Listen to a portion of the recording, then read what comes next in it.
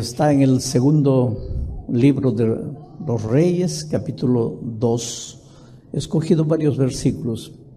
Voy a ir leyendo, voy a leer todo, después voy a volver, voy a comentar los textos, vamos a ver cómo Dios a través del relato bíblico saca lecciones para nuestra vida, trae lecciones para nuestra vida. Aconteció que cuando quiso Jehová alzar a Elías en un torbellino al cielo, Elías venía con Eliseo, su alumno, su discípulo. Y dijo Elías a Eliseo, quédate ahora aquí porque Jehová me ha enviado a Betel. Y Eliseo dijo, vive Jehová y vive tu alma que no te dejaré. Descendieron pues a Betel. Siguiente texto. Y Elías le volvió a decir Eliseo, quédate aquí ahora porque Jehová me ha enviado a Jericó. Y él dijo, vive Jehová y vive tu alma que no te dejaré. Vinieron pues a Jericó. Sigue. Y Elías le dijo, ahora por tercera vez, te ruego que te quedes aquí, porque Jehová me ha enviado al Jordán. Y él dijo, vive Jehová y vive tu alma, que no te dejaré. Fueron pues ambos. Pasa. Cuando había pasado Elías, habían pasado el Jordán, ¿no? Elías dijo a Eliseo, pide lo que quieras que haga por ti antes que yo sea quitado de ti. Y dijo Eliseo, te ruego una doble porción de tu espíritu sea sobre mí. Él le dijo, cosa difícil has pedido. Si me vieres cuando fuere quitado de ti, te será hecho así, mas si no, no. Y aconteció que yendo ellos y hablando, he aquí un carro de fuego con caballos de fuego apartó a los dos y Elías subió al cielo en un torbellino. Sigue. Viéndolo Eliseo clamaba, Padre mío, Padre mío, carro de Israel y su gente de a caballo, y nunca más le vio. Y tomando sus vestidos, los rompió en dos partes. Alzó luego el manto de Elías que se le había caído y volvió y se paró a la orilla del Jordán. Esa es la historia. Ahora vamos a aprender las lecciones. Eliseo, el discípulo, sabía que pasando el Jordán, Dios iba a operar un gran milagro. Él iba a ser testigo de algo glorioso. Dios iba a arrebatar a Elías. Y Eliseo quería ver aquella maravilla de Dios. Ustedes saben que nosotros todos queremos ver maravillas de Dios, milagros de Dios. Aquí está Alejandra, la chica linda. Sabes que yo tengo un sueño, como quisiera hacer una oración y hacerte andar. Porque yo la conocí a Alejandra caminando con una cabrita de aquí para allá, feliz. Pero vivimos en el desierto de este mundo, de esta vida, y ahora está ahí en una silla de ruedas. Yo creo que el gran milagro que Dios está haciendo en tu vida, Alejandra, es darte la capacidad interior de ser victoriosa en medio de esa situación. Pero yo quisiera ver un milagro de Dios en tu vida. Todos buscamos milagros. El otro día una señora me dice, pastor, pídale a Dios que haga el milagro de restaurar mi matrimonio. ¿Cuántos padres ven? Pastor, pídale a Dios que haga el milagro de sacar a mi hijo de las drogas. Pastor, estoy endeudado, debo medio millón de dólares. Solo un milagro para poder pagar. Milagros. Todos queremos ver milagros, ¿no? Eliseo también quería ver un milagro, cómo Dios va a llevar a Elías. Pero entonces dice que cuando estaban yendo en el camino, Elías le dijo a Eliseo, quédate aquí, porque este es un asunto personal entre Dios y yo, tú quédate aquí. Y él podría haberse quedado, pero ¿qué dice el relato bíblico? que Eliseo le dijo, no, Señor, vive Dios y vive tú, que yo no me voy a quedar. Caminaron un poco más para allá y por segunda vez el maestro le dice, quédate. Y él le dice, vive Dios y vive tú, que no me quedo. Y caminaron un poco más y nuevamente el maestro le dice, Eliseo, te estoy diciendo por la tercera vez, quédate. Y Eliseo le dice, Señor, vive Dios y vive tú, no me quedaré. A no ser que tú me votes, yo no me quedo. Yo te acompaño. Tú no sabes a dónde voy, yo voy contigo, Señor. Pues tú no sabes lo que me va a pasar, yo voy contigo, Señor. En su corazón, Eliseo sabía que Elías estaba yendo al encuentro del Señor Jesucristo.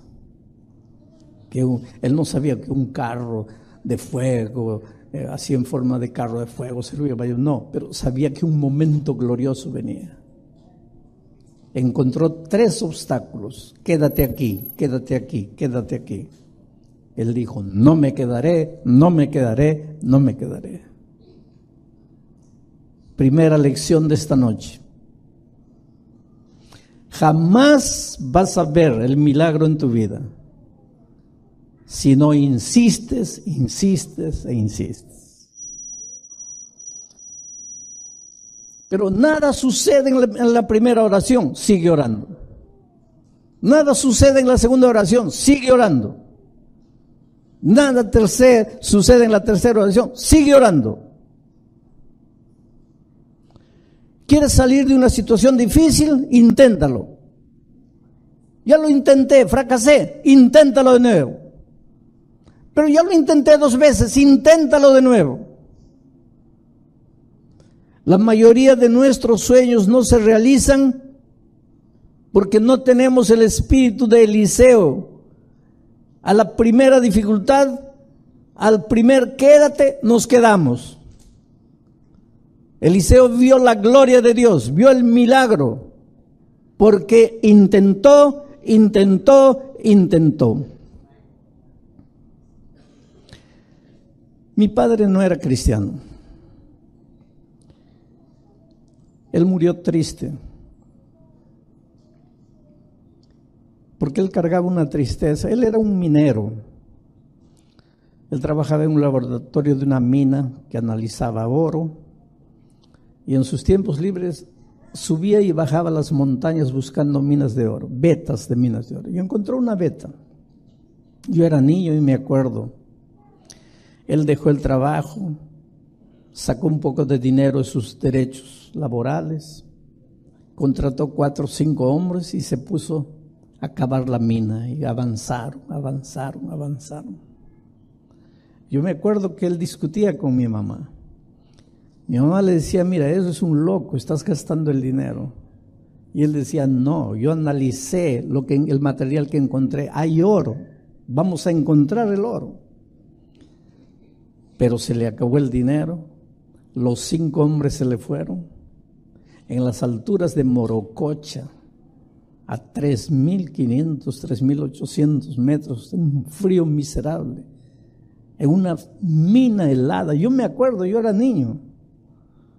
Mi padre y mi madre, mi madre embarazada, esperando otro hijo, con una picota en la mano, escarbando, escarbando, escarbando, porque ya no tenían trabajadores, ya se les había acabado el dinero. Mi hermano mayor y yo mirando y ellos cavando, cavando. Yo vi la mano de mi padre sangrar, cavando, cavando. Hasta que llegó un momento en que ellos dijeron, pues se acabó el dinero, se acabaron las fuerzas, tenemos hijos, hay que mantenerlos. Este fue un sueño, solo un sueño. Y volvió al trabajo y se olvidó de la mina. La mina quedó unos 30 años abandonada ya la, la paja comenzó a subir, el pasto, el, el, ichu, el pasto de esas alturas comenzó a cerrar la mina. Un día un hombre a caballo estaba caminando, miró el, el hueco ahí, dijo, ¿qué hicieron aquí? Abrió, dijo, alguien buscó, alguien buscó mineral aquí. Tenía dinero, contrató un equipo de hombres. Vamos a avanzar un poco. Avanzaron 50 centímetros, encontraron una de las más ricas vetas de oro, 50 centímetros. Cuando mi padre se enteró, cayó al suelo. Y yo me acuerdo verlo llorar. Y decía, me faltó 50 centímetros. Me faltó 50 centímetros.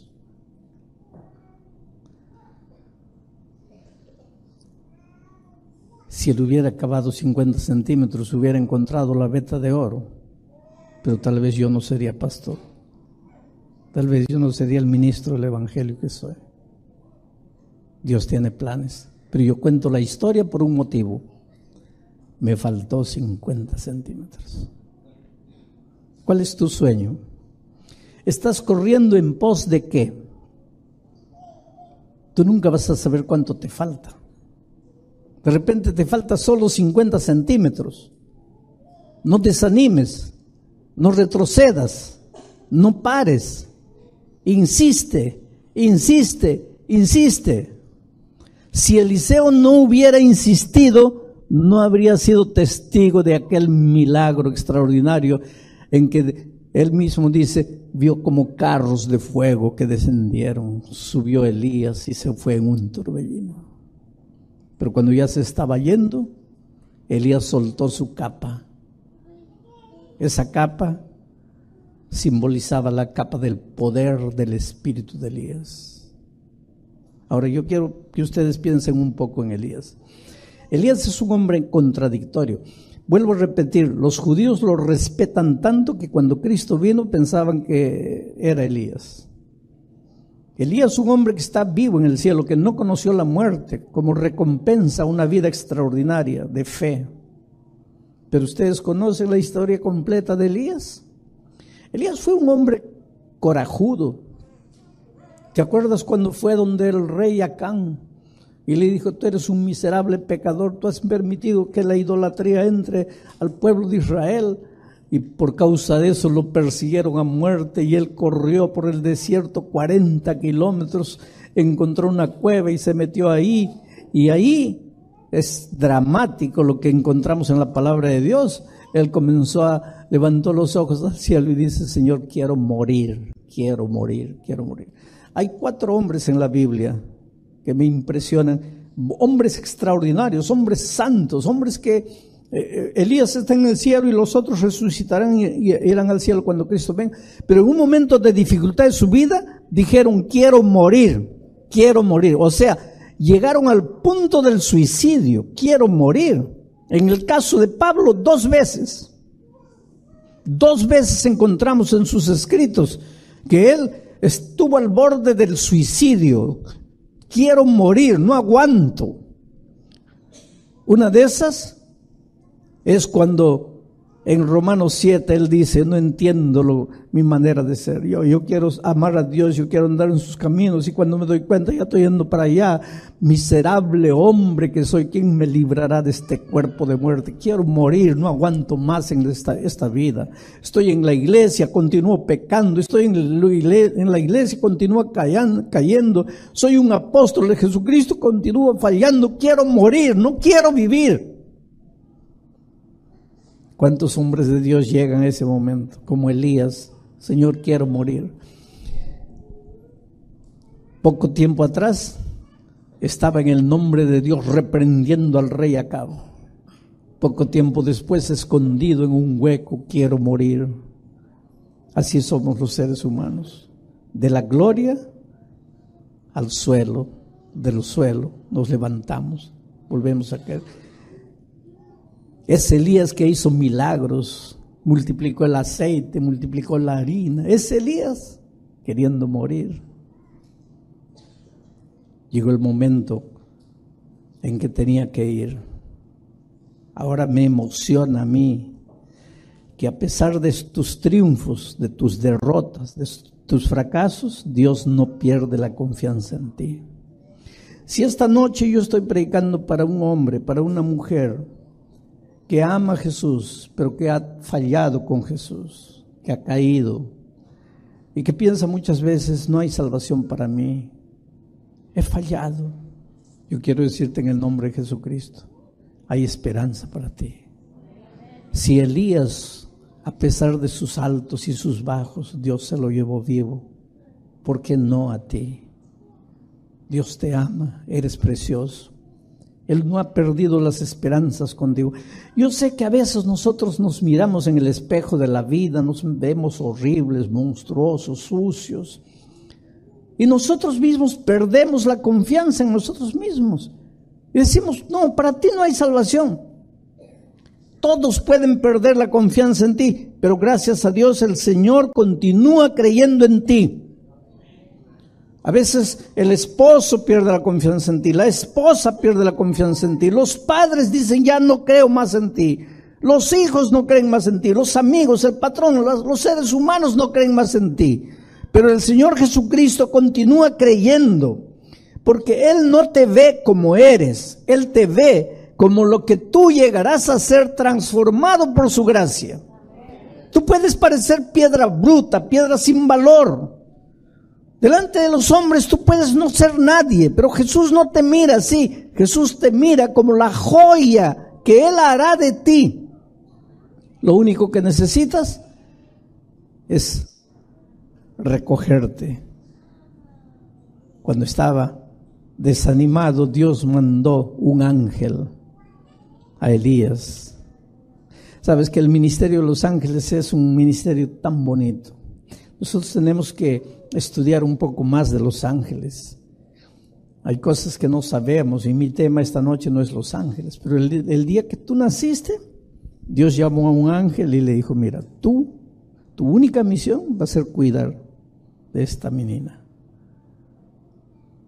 Cada uno de nosotros tenemos un ángel Muchas veces ese ángel, en la Biblia lo hicieron muchas veces, toman formas humanas y se presentan y te ayudan. Y tú dices así, encontré una persona, no sé de dónde salió, me ayudó, si no esa persona no hubiera aparecido, no sé qué me hubiera pasado, y no sabías que era tu ángel, que cobró forma humana. ¿Te acuerdas cuando los ángeles se presentaron en la casa de Abraham? En forma de hombres. Yo cuántas veces encontré historias de colportores, una colportora peruana que estaba colportando en Argentina una noche. Los hombres la agarraron, la llevaron al matorral, la estaban queriendo violar y de repente aparece un ángel un hombre vestido de blanco con el rostro iluminando. Y los hombres desaparecen. El ángel del Señor. La Biblia dice, el ángel del Señor acampa alrededor de los que le temen y los defiende. Ahora viene una pregunta. Y una pregunta que yo creo que Alejandra se ha hecho muchas veces. ¿Y dónde estaba tu ángel? en el momento del accidente. Estaba ahí. porque no hizo nada? En el cielo tendrás toda la eternidad. Tu ángel te va a explicar lo que pasó y por qué pasó. Y cuando te explique, tú vas a sonreír. Y tal vez vas a agacharte y vas a decir, perdóname por todo lo que pensé. Porque Dios tenía de lo mejor, de lo mejor para ti sin que tú te dieras cuenta. Ahora me puedes decir, pero ¿cómo es mejor esto que estoy aquí? Yo no lo entiendo, yo no lo sé. Pero sé que Dios nunca se equivoca. Tu hijito murió con tres años, atropellado. No lo vas a entender nunca. ¿Dónde estaba el ángel? Estaba allí. ¿Por qué no intervino? Yo no sé. ¿Por qué interviene poderosamente en la vida de los otros? Yo no sé. Hay cosas que yo no te puedo explicar. Pero una cosa sé, tu ángel siempre está al lado tuyo. El otro día me pasó algo impresionante. Yo tenía que, estaba en el aeropuerto en Miami esperando mi vuelo para Brasil. Y pues como yo viajo mucho de un lugar para otro, en la misma empresa aérea, ellos por cortesía me dejan viajar en primera clase, donde puedo dormir. Desde el momento que haya un lugar vacante en la primera clase. Cuando hay un lugar vacante, yo pago el boleto económico, pero ellos me dan el derecho de pasar a la primera clase, ustedes aquí en inglés le llaman el famoso upgrade. Entonces, pero cuando llego al aeropuerto tengo que presentarme y preguntar ahí en el mostrador, ¿hay un lugar sobrando ahí que podría ir? Y la señora me dice, no, infelizmente está todo lleno. Bueno, pues está lleno, ¿qué voy a hacer? Entonces yo estaba caminando, ahí estaba el gate, la puerta, y yo caminando de un lado para otro. Siempre hago eso, trato de andar, siempre, y caminando de un lado para otro. Y de repente escucho mi nombre en el altoparlante, señor Alejandro Bullón, acérquese. Y pues fui. Era otra señora. Me dice, disculpe, ¿usted es el pastor de la iglesia? Le digo, sí, ¿tú eres adventista? No, me dice, yo no soy adventista, pero mi madre es.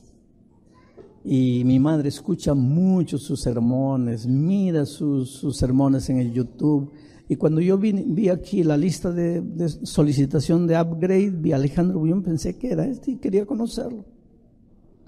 digo, pues qué alegría, espero que usted también un día se regocije en, la, en el Evangelio.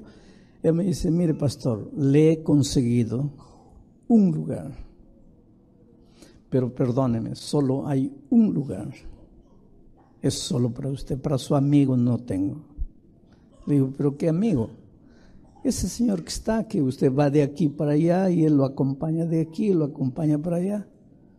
Y yo miré, no había nadie. Él me dice, ese señor que está ahí. Pero no había nadie. Y en ese momento, sabes que se me escarapeló el cuerpo. ¿Cuántas veces en la vida nosotros pensamos, estoy solo? especialmente cuando el dolor toca la vida. Dices así, estoy solo. Todos me han dejado, todos me han abandonado. Y es posible que sí, que todos te hayan dejado, pero tu ángel está ahí. Tú no lo ves, no lo puedes ver, pero Él está ahí. Y sabes, la sierva del Señor dice que el ángel del de Guillermo Miller. Ella vio, tuvo una visión, el ángel de Guillermo Miller estaba velando la tumba de Guillermo Miller. ¿Y para qué? Para darle la bienvenida a la vida en el día de la resurrección. O sea, ese ángel que Dios designó para ti, Él te acompaña todos los días, de día, de noche. Tú estás durmiendo, Él está vigilando tu sueño todos los días. Y si mueres en esta tierra, cuando Cristo venga y resucites, el primer rostro que vas a ver es de tu ángel. Y Él te explicará por qué moriste. Él te explicará por qué sucedió lo que sucedió. Tu ángel. Nunca se separa de ti. ¿Sabes cuál es el único momento en que se separa de ti? Cuando a veces yo, llevado por mi naturaleza, me olvido de Jesús y entro a un lugar a donde no debo entrar. O voy a un lugar a donde no debo ir. Él, por la naturaleza de su santidad, no puede entrar. Se queda afuera, llorando, porque Él recibió una misión. No te separes de Él en ningún momento. Pero por su santidad Él no puede entrar. Pero yo me meto. Y él no sabe qué hacer porque él tiene una orden que cumplir. Pero por otro lado no puede entrar. Mira el dolor que le provocamos al ángel. Pero mi tema no es ángeles, yo cierro. En el momento de desesperación, un ángel se presenta a Elías y le dice, levántate, come, porque tienes una larga jornada. Ahora llegó el momento de irse. Y antes de irse, suelta la capa. Ahora miren lo que voy, vamos a leer la última parte. Dice así. Cuando ya Elías se fue, Eliseo se quedó mirando al cielo y diciendo, Padre mío, Padre mío, carro de Israel y su gente de a caballo. Y nunca más le vio. Y entonces Eliseo tomó sus vestidos, se los arrancó, los partió, los echó afuera y tomó el vestido de Elías, el manto de Elías, y se lo colocó.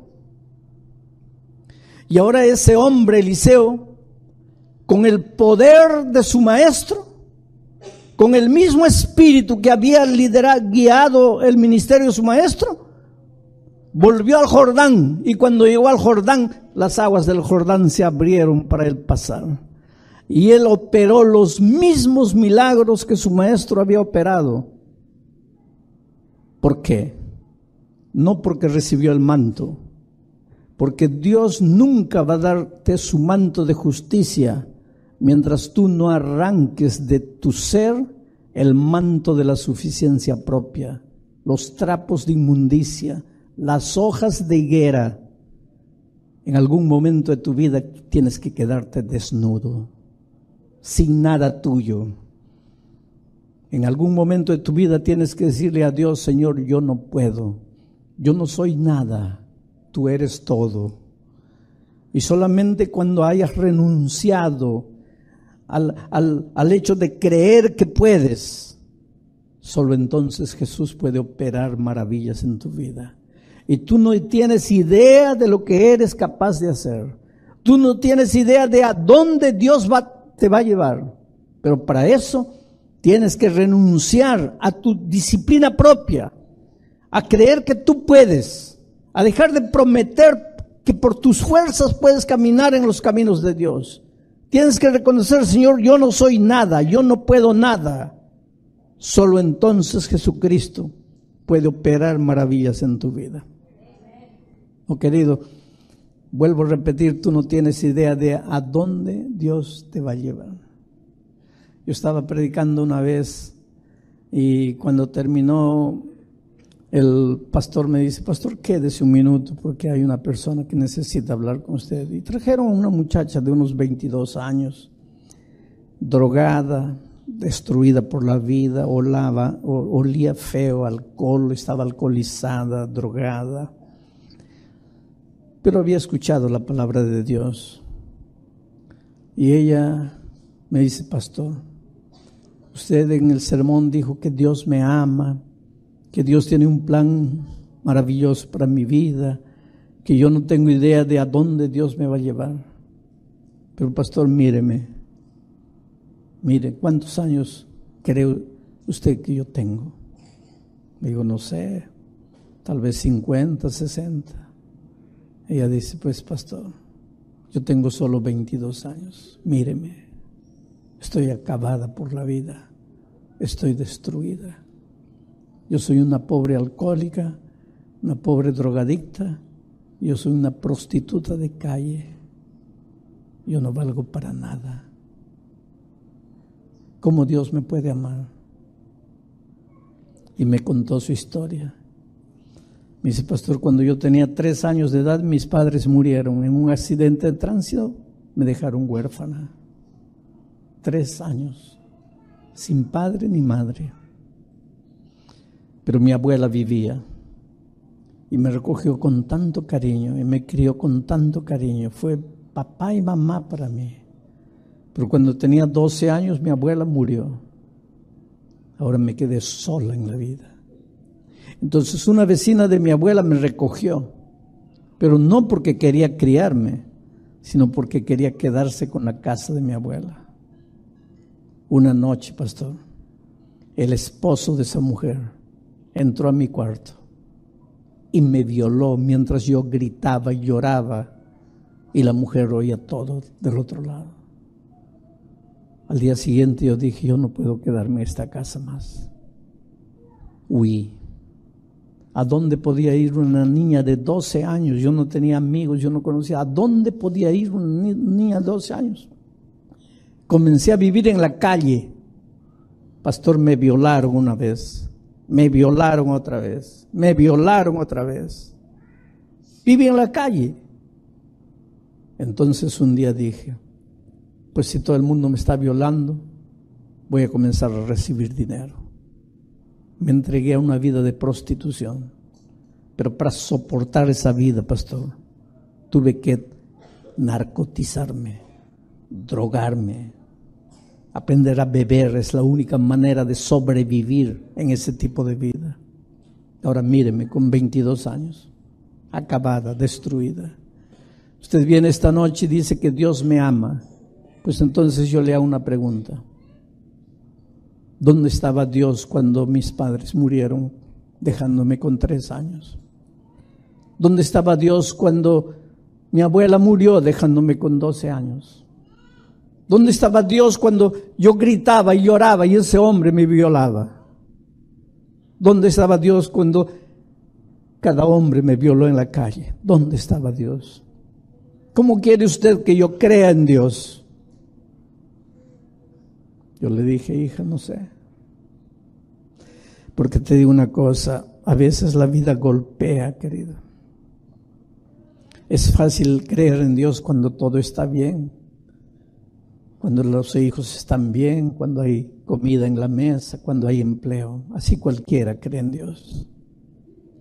Pero creer en Dios cuando perdiste las piernas, cuando tu hijo murió, cuando estás sin empleo, cuando sufres en tu corazón, cuando alguien te abandonó, cuando tienes ganas de llorar. ¿Cómo creer en Dios? Yo no sé. Pero si eres capaz de creer, Dios podrá hacer por ti lo que tú no tienes idea. Y Dios hizo por esa mujer maravillas. Pasaron muchos años. Yo estaba un día saliendo de la predicación, un sábado de mañana, en Río de Janeiro, y una señora con su esposo y una niñita de cinco años. Me dice, pastor, ¿se acuerda de mí? Le digo, hermana, yo conozco tanta gente en el mundo. Disculpe, no me acuerdo. Ella sonrió con una sonrisa bonita y me dice, pastor, no podría acordarse, porque cuando yo lo conocí y hablé con usted, yo estaba drogada y estaba ebria.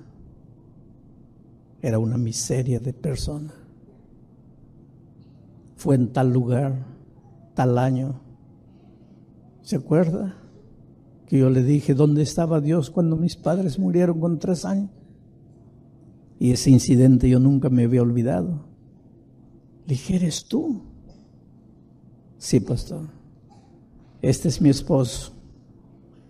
Y esta es mi niña. Un hogar feliz. Lo que Dios es capaz de hacer. Pero su historia es romántica y maravillosa. Me dice, usted se fue, pastor, yo seguí yendo a la iglesia. Había una cosa dentro de mí que me decía, estás perdiendo el tiempo, pero yo continúo yendo a la iglesia. Y esa voz dentro de mí, estás perdiendo el tiempo, pero yo continué yendo a la iglesia. ¿Te acuerdas del liceo? Quédate aquí, no me quedaré. Quédate aquí, no me quedaré. Quédate aquí, no me quedaré. Y pastor, un día paré de beber, paré de usar drogas, encontré un empleo humilde me bauticé. Me gustaba cantar, entré al coro de la iglesia. Dos años después, un joven de otra ciudad vino al Río de Janeiro, entró al coro de la iglesia. Una noche después del ensayo del coro me dijo, quiero invitarte a cenar. Y me llevó a cenar. Y en medio de la cena me dice, he pensado mucho lo que te voy a decir, pero desde que llegué te vi, estoy enamorado de ti, quiero que seas mi esposa. Yo le dije, tú no sabes lo que estás diciendo. Tú no conoces mi historia. Si tú conocieras mi historia, jamás dirías lo que estás diciendo. Y él le dijo, no conozco tu historia y no quiero saber nada de tu historia. Yo te conocí cuando llegué aquí, eres una hija preciosa de Dios, yo quiero que seas mi esposa. Ella le dijo, está bien, pero primero tienes que oír mi historia. Yo soy esto, esto, esto y esto. Y él le dijo, un día yo caminaba en la vida perdido, mi vida no tenía sentido, yo no era un prostituto, ni un drogado, ni un ebrio, era un hombre sin Dios, vacío, loco, y me encontré con Jesucristo y cambió mi vida. Y ese día empecé a vivir